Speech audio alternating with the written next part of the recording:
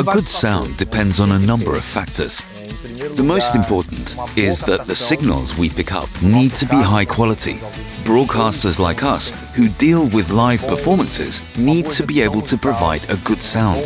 The performance has to be good, of course. The instruments need to sound good. We need top notch microphones and a good signal. In most instances, good sound is a combination of a number of factors. The console obviously plays an important part in the signal chain. I'm Marcelo Freitas, and I've been working at Epah since 2009. Nós do Epah, The Epah team likes to think of itself as a bridge. We quite literally connect the artists or the artistic side to the broadcaster in this particular case. broadcast, no caso os canais de televisões. Esse trabalho com Working for a broadcaster is a very rewarding job because each day is different. experiência nova a cada dia, I learn a lot each day. dia mais. Então, a gente consegue Being passionate about audio equipment and technology also helps. com o mundo do áudio.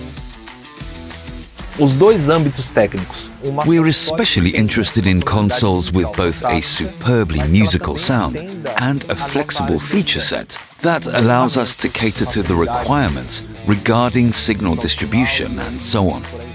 A, a nossa unidade móvel Our mobile unit uses the most advanced OB trucks in Brazil. This one is equipped with a Lawo console.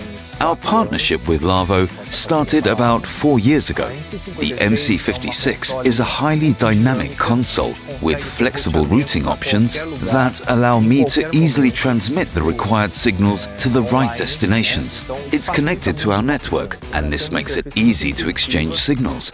I like its highly interactive user interface and its logical layout. To me, it has the feeling of an analog desk. Us sound engineers don't consider ourselves technical operators. We work for the music industry, and this console assists us with that. We became aware of Lawo in 2014 when we were contacted by the company's Brazilian sales rep. He invited us to fly to Rastatt in Germany to visit the Lawo facility. We jumped at the occasion to attend a one-week hands-on introduction to the consoles. Step by step, we learned about the differences between the various models and what they had in common. We quickly fell in love with the Lawo desks, so much so that by the end of the week, we decided to place our first order. I've been working with Lawo gear on an almost daily basis since 2015. The company made us feel welcome right from the start. This created a strong bond. I still remember when we did a broadcast here at Rock in Rio. We had an issue that required immediate attention from Lawo. That incident was an eye-opener. We realized that we'd not just bought a product, but also a service to match its professional quality. It made us realize that Lawo really cares about its users. This is a good example of how a situation created a strong bond between Epah and Lawo. We're working at the cutting edge here and need to meet the expectations of sound engineers from all over the world.